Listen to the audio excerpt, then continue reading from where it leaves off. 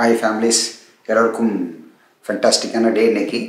இன்றைக்கி நம்ம வந்து என்ன பேச போகிறோம் ஒரு அற்புதமான சப்ஜெக்ட் பேச போகிறோம் கோயிலினுடைய ரகசியங்கள் என்ன? அப்படிங்கிற ஒரு விஷயத்தை நம்ம பேச போகிறோம் கோயில் வந்து எப்படின்னு கேட்டிங்கன்னா இன்றைக்கி நம்ம ஊரில் ப்ரேயர் ஹவுஸ்னு எல்லா பக்கம் பல வகை புது புது மதங்களில் புதுசு புதுசாக அதுக்கு பேர் வச்சுட்டாங்க. ஒருத்தர் அந்த காலத்தில் கோயில்னு இருந்தது ஆலயம்னு இருந்தது தேவஸ்தானம்னு இருந்தது.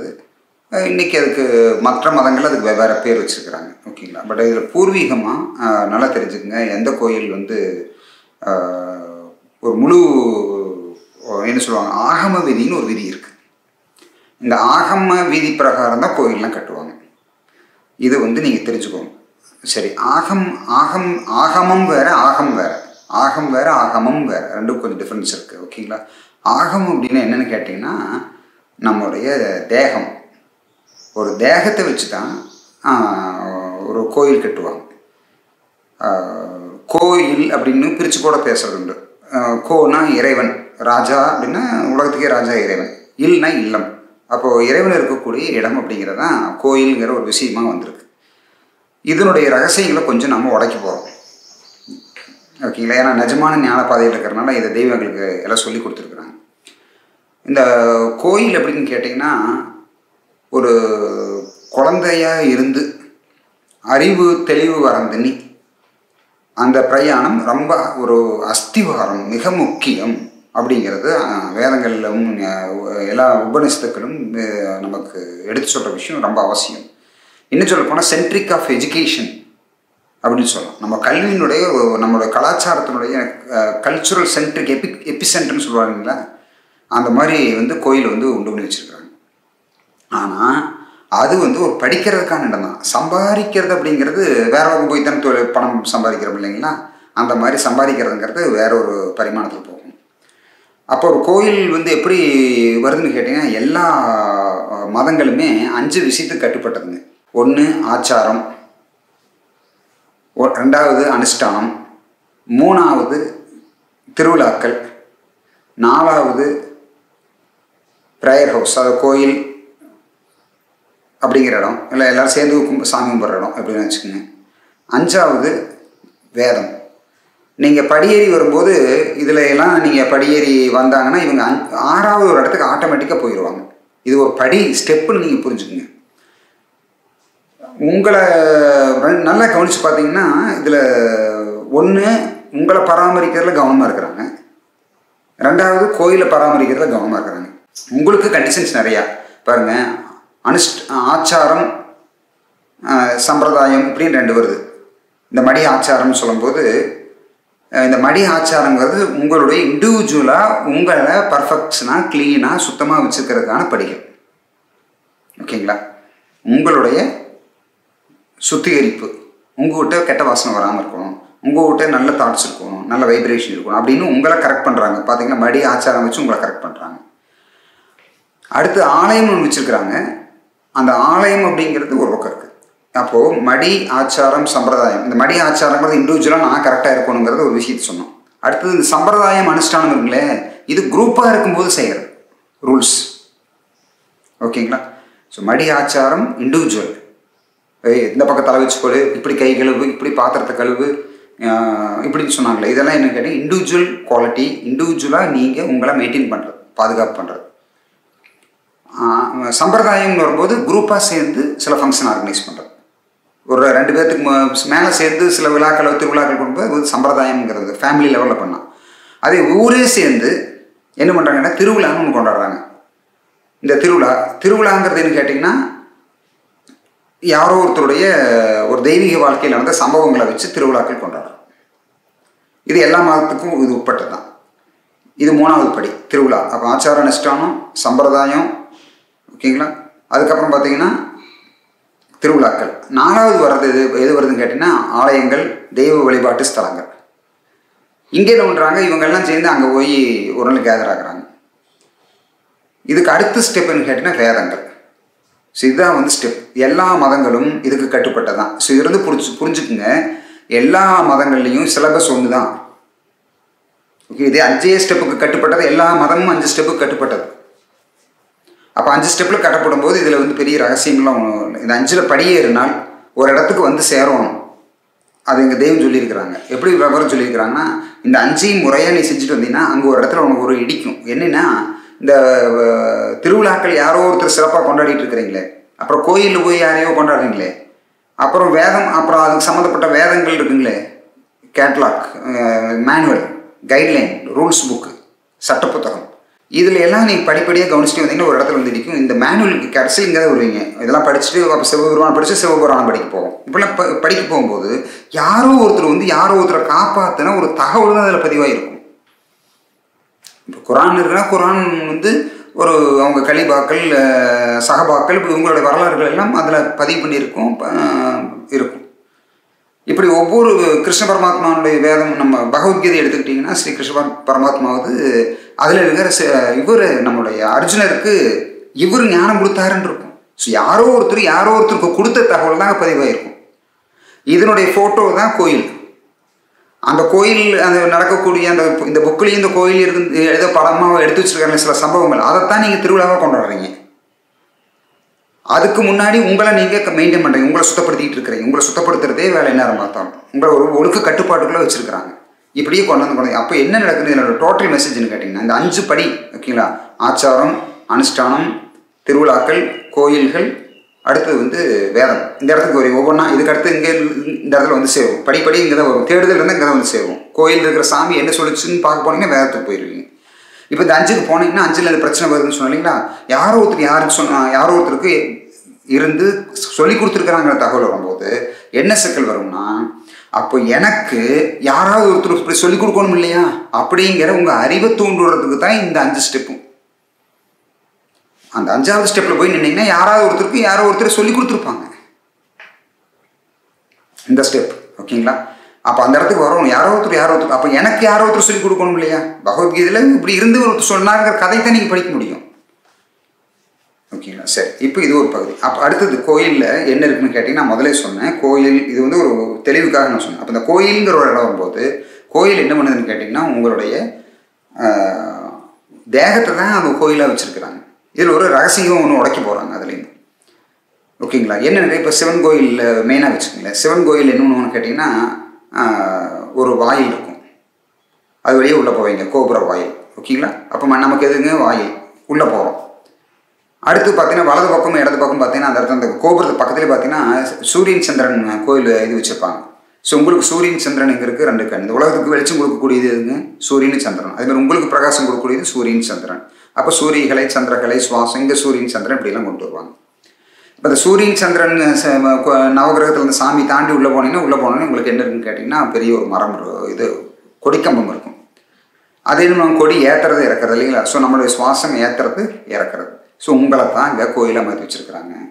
அப்போது இது நடைமுறையில் உங்களுக்கு உங்களுக்குள்ளே தெய்வம் இருக்குதுங்கிற ஒரு விஷயத்த சொல்ல வந்தால் நீங்கள் யாரும் ரெடியாக இல்லை கேட்குறதுக்கு அப்போ என்ன பண்ணுறாங்க உங்கள் உடம்பையே பிரித்து கட்டடமாக கட்டி பிரம்மாண்டப்படுத்தி காமிக்கும் போது நீங்கள் அதில் போய் உங்கள் உடம்புல இருக்கக்கூடிய தத்துவங்களை பிரித்து அங்கே நவகிரகங்கள் இருக்குது உங்கள் உடம்புல நவகிரகம் இருக்குது.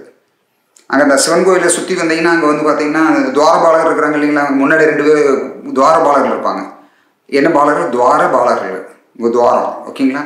ஸோ இந்த துவார பாலகர்கள் ஸோ இப்போ இதில் வழியாக நீ கேட்டு பண்ணணுங்கிற மாதிரி தத்துவங்கள் இதில் இருக்குது இதை சுற்றி வரக்கூடிய எல்லாமே இந்த உடம்புல இருக்கக்கூடிய தத்துவங்கள் அதெல்லாம் நான் நேராக நீங்கள் வந்தீங்கன்னா இந்த தெ- தெய்வீகத்தை தேடுதல் இருந்து நீங்கள் வரும்பொழுது நம்ம இதை பற்றி பேசலாம். ஸோ அப்போ ஆலயங்கள் இப்படி இருக்குது இது ஒரு பகுதி. உடம்புல இருக்கக்கூடிய தத்துவங்கள். அடுத்தது வேற என்ன ஆலயங்களை வச்சிருக்கிறாங்கன்னு கேட்டிங்கன்னா அந்த சிவன் பிரம்மா இவங்களை வணங்கின பெரியோர்களுடைய அந்த சிவநிலையை அடைஞ்சவங்களுடைய விக்கிரகங்களை அங்கே வச்சுருப்பாங்க இல்லை இறைவனை அடைஞ்சவங்களை சிலர் உங்களுக்கு உதாரணம் காமிப்பாங்க. சி அவ அது எதுக்கு காமிக்கிறாங்க? அவங்கள எதுக்காக காமிக்கிறாங்க அப்படின்னு கேட்டிங்கன்னா இப்போ நீங்கள் சிவன் கோயிலுக்கு போகிறீங்க வச்சுக்கலாங்க அறுபத்தி மூணு பேர் நின்றுட்டு இருப்பாங்க. அதில் பார்த்தீங்கன்னா முதல் நாயனார் ஒரு குயவனாராக இருப்பார். அடுத்தது ஒரு ராஜா இருப்பார். அடுத்தது ஒரு திருடன் இருப்பார். ஒரு பெண்மணி இருப்பாங்க. இவங்க எல்லாம் இறைவன் அடைஞ்ச ஒரு நிலையை உயர்ந்த உன்னதமான நிலையை அடைஞ்சிருப்பாங்க. இப்போது நம்ம இயல்பாக மனிதனுக்கு என்ன ஒரு எண்ணம் இருக்குங்க? இந்த உலகத்தில் ஒரு நல்ல பொருளை பார்த்தா ஒரு நல்ல வாழ்க்கையை பார்த்தா அந்த மாதிரி வாழணும்னு ஆசை இருக்கும் இல்லைங்களா? ஒரு நல்ல கலெக்டர் பார்த்தா கலெக்டர் மாதிரி ஆகணும்னு ஆசை வரும் இல்லைங்களா? அதே மாதிரி உங்களுக்கு ஒரு எண்ணம் வரும். அங்கே சிவனுங்கிற ஒரு கோயில் இருக்கும்போது சுற்றி அறுபத்தி மூணு நிற்கும்போது அவங்கள எதுக்கு எடுத்து வச்சாங்கன்னா நிறைய விஷயம் இருக்குது ஒரு பகுதி என்னன்னு கேட்டிங்கன்னா அவங்கள பார்க்கும்போது உங்களுக்கு என்ன வரணும் ஒரு ஆசை வரணும் என்னென்ன ஆசை? என்னடா ஒரு பானை செஞ்ச ஒரு சிவன் சிவன் அடைஞ்சிருக்கிறாங்க. அப்போ மிச்சவங்களும் அடையிலின்னு அர்த்தம். நல்லா புரிஞ்சுங்க. எல்லாரும் அடையலை. தே விரும்பப்பட்டவங்க மட்டும்தான் அந்த இதை அடையணும் பாடுபட்டவங்க மட்டும்தான் அடைஞ்சிருக்கிறாங்க. அவங்க சிவனுக்காக சிவனுடைய அடியார்களுக்கு வேலை செஞ்சாங்க. அப்போ அதுக்கான ப்ராசஸ் நம்ம என்னென்னு பார்க்க வேண்டியிருக்கு. அப்போது ஒரு ஒரு- ஒரு திறனாக இருந்தவர் அடைஞ்சிருக்கிறாரு. ஒரு அப்போ நம்ம இப்போ மீன் பிடிக்கிறவர் மீன் பிடிக்கிறவர் வந்து ச- இறைவன் அடைஞ்சிருக்கிறாங்க. இப்படிலாம் பார்க்கும்போது உங்களுக்கு என்ன வரும்? ஒரு என்ன வரும் இல்லைங்களா? ஸோ இந்த மாதிரியான அடியார்களுடைய விஷயங்கள் எடுத்து வச்சிருக்கிறாங்க. ஆலயங்கள்ங்கிறது இதுதான். அதுக்கு அடுத்தது ஆலயங்களை பற்றி நீங்கள் தெரிஞ்சுக்கணும்னா ஆலயங்கள் பெரும்பாலும் பஞ்சபூதங்கள் எடுத்து வச்சுருப்பாங்க.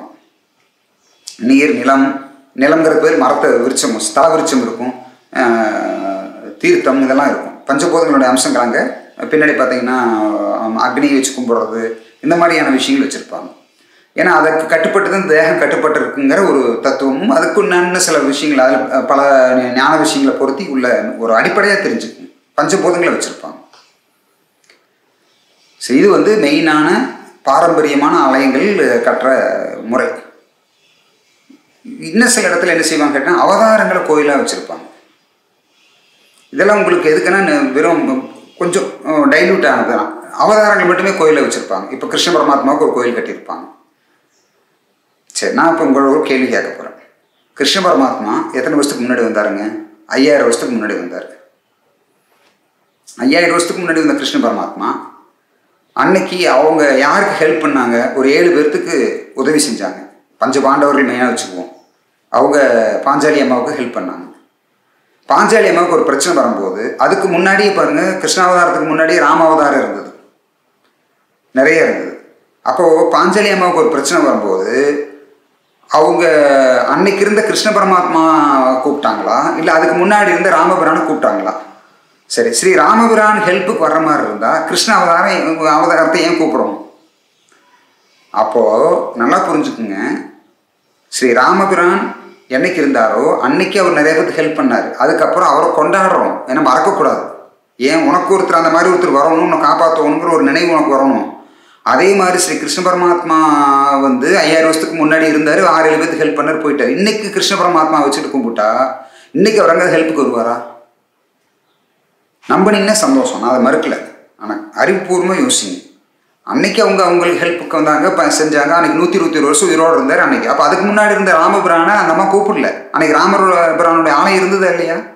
கிருஷ்ண பரமாத்மா காலத்தில்? வராகமூர்த்தி ஆலயம் இருந்ததா இல்லையா? மகாபலியினுடைய ஆலயங்கள் இருந்ததா இல்லையா? திருவக்கிரமன் அவதாரம். அப்படிலாம் இருக்கும் பொழுது ஸ்ரீ கிருஷ்ண பரமாத்மாவுடைய அவதாரம் நடக்கும் இருந்த அன்னைக்கு அவருக்கு தான் ஹெல்ப் கூப்பிட்டாங்களா ஒழிய அதுக்கு முன்னாடி இருந்தவங்க ஹெல்ப்புக்கு யாரும் கூப்பிடல. அப்போ அவங்கள கொண்டாடுறதுக்காக அப்போ என்ன இன்னைக்கு உங்களுக்கு யார் ஹெல்ப்புக்கு வருவாங்கன்னு அறிவுபூர்வமாக நீங்கள் கண்டுபிடிக்கணும். ஆனால் கிருஷ்ண பரமாத்மா மாதிரி வல்லமை இருக்கிறவங்க தான் உங்களை காப்பாற்ற முடியும். இங்கிலீஷ் நல்லா பேசுகிறவங்க அல்லது அது நிறைய யோகா ஆசனம் பண்ணுறவங்க இவங்கெல்லாம் குருங்கிறது நான் நான் அதை நான் அதுக்கு அந்த ஏரியாவுக்குள்ளே வரல. நீங்களே முடிவு எடுத்துங்க இவங்கெல்லாம் இல்லை. அந்த சாத் சாத் குரு பிரம்மா குரு விஷ்ணு குரு தேவோ மகேஸ்வரக இப்படின்னு சொன்னோன்னே இவங்க மாற்றி விட்ருவாங்க நீங்கள் யாரை கும்பிட்றீங்களோ அவங்க தான் உங்களுக்கு இதெல்லாம் அப்படின்றோம் அப்படி இல்லை அந்த பிரம்மனாக இருக்கவங்க உங்களுக்கு குருவாக வரணும். அந்த விஷ்ணுவாக இருக்கிறவங்க தண்ணி இருக்கிறவங்க உங்களுக்கு குருவாக வரணும். அந்த மகாதேவனாக இருக்கக்கூடியவங்க தண்ணி இருக்கிறவங்க இந்த முத்தொழில் கை வரவங்க ஆக்கல் க அழை- அழைத்தல் காத்தல் இந்த மூணு தொழில் கையில் வச்சிருக்கிறவங்க உங்களுக்கு குருவாக வரணும். அப்படி வர்றவங்க தான் உங்களுக்கு இறைவனாக நின்று உங்கள் உங்களை காப்பாற்ற முடியும் உங்களை கைட் பண்ண முடியும். ஓகேங்களா அந்த மாதிரி வர்றதை வர்றதை ஞாபகப்படுத்துறதுக்காகத்தான் இந்த மாதிரி அவதாரங்களை வணங்குறதும் இந்த மாதிரி ஞானியில் கோயில் வச்சுக்க சிம்பிளாக வணங்குறதும் உண்டு. இல்லை உங்கள் தேகத்தை வச்சு வணங்குறதுக்கு காரணம் என்னன்னு கேட்டால் உங்கள் தேகத்துக்குள்ளே தான் அந்த இறைவன் வந்து குடியேறி இருக்கிறாங்க அவங்கள நீ சொந்தமாக்கிக்கோ. ஓகேங்களா? அந்த அறிவாகி இறைவன் உங்களுக்குள்ளே இருக்கிறாங்க. அவங்கள நீ சொந்தமாக்கிக்கிறதுக்கு தான் அந்த ஆலயங்களுடைய விஷயங்கள் எடுத்து வச்சுருக்கிறாங்க. நான் ரொம்ப சிம்பிளாக எங்கள் தெய்வம் கேட்டாங்க. ஏன்னா எந்த அளவுக்கு மைண்டு போயிடுச்சுன்னா அங்கே சூரியன் வந்து நேராகவே மேலே இருக்கிறாரு. அவரை கூடவா நம்ம ஒரு உருவத்தில் வடிச்சு வச்சு கும்பிடணும் அப்படிங்கிற மாதிரி ஒரு கேள்வியெல்லாம் ரைஸ் ஆகுது. ஓகேங்களா? ஸோ இந்த மாதிரி வந்து பார்த்தீங்கன்னா நம்ம அறிவு தூண்டுவிட்டு உங்களை திருப்புறதுக்கு தான் இந்த ஆலயங்கள் அஸ்திவாய. ஆனால் என்னென்னு கேட்டிங்கன்னா ஒரு எப்படி ஒரு எல்கேஜிலேருந்து ஒரு ஃபிஃப்த் ஸ்டாண்டர்ட் வரைக்கும் முக்கியமோ அந்த மாதிரி ஆலயங்கள் ரொம்ப ரொம்ப முக்கியம். அது குழந்தைங்களுக்கும் அடிப்படை கல்விக்கும் அடிப்படையாக நம்ம கலாச்சாரத்தை காப்பாற்றுறதுக்கும் நம்மளுடைய உணர்வுகளை தெய்வ உணர்ச்சி வச்சுருக்கிறதுக்கும் இல்லை தெய்வ உணர்ச்சி இல்லாமல் போயிடும் ஓகேங்களா? மறுத்து போயிடும் அதெல்லாம் காப்பாற்றுறதுக்கு மந்திரங்கள் ஸ்லோகங்கள் எல்லாம் ரொம்ப முக்கியம். அதனால் சில வைப்ரேஷன் சில நன்மைகள் உண்டு. ஆனால் இறுதியில் என்ன சொல்லுதுன்னா ஒரு எல்லா வேதங்கள் தான் uh, ரிட்டன் உங்களுக்கு டீட் எழுதி வச்சிருக்கிறாங்க. உங்கள் அப்போ தாக்கா சொத்துல விசிற டீடு கை கிடச்சதுன்னா அந்த டீடை படிச்சுக்கிட்டே இருப்பீங்களா? இல்லை அந்த டீடில் என்ன இருக்குது அந்த சொத்தை போய் அனுபவிக்கணும்னு போவீங்களா? அது மாதிரி திருவாசகம் படிச்சுக்கிட்டே இருக்கிறதா? இல்லை அவர் எப்படி அடைஞ்சோரோ அது மாதிரி நாம் அடையிறதுக்கான ரூட்டை பார்க்குறதா? இந்த மாதிரி ஒரு கேள்வி நம்ம வந்து கேள்வி கேட்க வேண்டியது இருக்குது ஓகேங்களா ஸோ அதனால் இதில் வந்து தப்பேதும் நான் செய்யணும் நீ பொறுத்தல் வேண்டும். அந்த நான் வந்து இதில் இதில் பெரிய இதெல்லாம் இல்லை. இறைவன் நமக்கு சொல்லிக் கொடுத்த விஷயங்கள் உங்களோட நான் பங்கிக்கிறேன். அவ்வளோதான் இல்லையா இதில் பெரிய விஷயம் இது இல்லை. கோயிலினுடைய முக்கியத்துவத்தை நீங்கள் தெரிஞ்சுங்க கண்டிப்பாக குழந்தைங்களை கூட்டிகிட்டு போகணும். வார வாரம் முடிஞ்சால் தினம் சரியில்லை. வாரம் ஒரு நாள் நீங்கள் டூர் கூட்டிகிட்டு போகிற முக்கியத்துவம் கொடுக்குறோம் குழந்தைங்களை ஆரம்பத்துலேருந்தே கோயிலுக்கு கூட்டிகிட்டு போய் முக்கியத்துவம் கொடுத்தீங்கன்னா குழந்தைங்க அதை நல்லா பழகணும். ஆனால் உங்களுக்கு சொல்லிக் கொடுக்கணும். இது நிஜமாக வந்த தெய்வம். இவங்கெல்லாம் நிஜமாக நடந்த கதை. அறுபத்தி மூணு நாயன்மார்கள் நிஜமாக நடந்தது. அதனால் நிஜமான உனக்கு தெய்வம் கிடைக்கணும் அப்படின்னு சொன்னீங்கன்னா உங்களுக்கு ஞானம் ஸ்டார்ட் ஆயிடும் ஓகேங்களா? இதெல்லாம் அடையாளப்படுத்தி வச்சிருக்கிறாங்க. சில ஒழுக்கங்களும் சில நெறிமுறைகளையும் நம்மளை கட்டுப்படுத்தி வழிநடத்துறதுக்கான ஒரு கோட் ஆஃப் எத்திக்ஸ் ஓகேங்களா? நம்ம மனிதனை இறைவன் பாதைக்கு கூட்டிகிட்டு போகிற கோட் ஆஃப் எத்திக்ஸ் தான் இந்த ஆலயங்கள் இந்த வழிபாடுகள் எல்லாம். கண்டிப்பாக ரொம்ப முக்கியம். ஆனால் அது மட்டுமே முக்கியம் இல்லை அதுக்கு அதில் சொல்லப்பட்ட விஷயங்களும் உங்களுக்கு நிஜமாக சொந்தமாக்கிக்கணும். ஓகேங்களா? நவகிரகங்கள் அங்கே இருக்கிறது வெளியில் இருக்கிற நவகிரகங்கள் நம்பிக்கிட்டே இருந்தோம்னா நம்ம நம்ம கண்ட்ரோலுக்கு வராது. நம்மகிட்ட இருக்கிற நவகிரகங்கள் நமக்கு வசப்படுத்தி கொடுப்பாங்க பெரியவர்கள் அந்த நிஜமான ஞானிகள் இந்த பூமிக்கு வந்திருக்கிறாங்க. இந்த மாதிரி ஞானப்பாதையினுடைய விஷயங்களை நமக்கு எல்லாம் தெளிவாக சொல்லி கொடுக்குறாங்க. இதை கண்டிப்பாக நீங்களும் எல்லாம் சொந்தம் கொண்டாடிக்கலாம் வணக்கம். நன்றி சந்தோஷம். ஸோ ஃப்ரெண்ட்ஸ் ஃபேமிலிஸ் நாம் ஒரு top one percent family quality லைஃப்பை நம்ம லீட் பண்ணணுங்கிறத என்னுடைய ஆசை. கண்டிப்பாக நீங்கள் எல்லோரும் ஒன் ஆஃப் த பெஸ்ட் ஃபேமிலியாக வருவீங்க. இதில் என்னுடைய இது இருக்குது இதில் கண்டிப்பாக இந்த சேனலை சப்ஸ்கிரைப் பண்ணுங்கள் மறந்துடாதீங்க. லைக் பண்ணுங்கள் ஷேர் பண்ணுங்கள் கமெண்ட் பண்ணுங்கள் ஓகே சி யூ தேங்க்யூ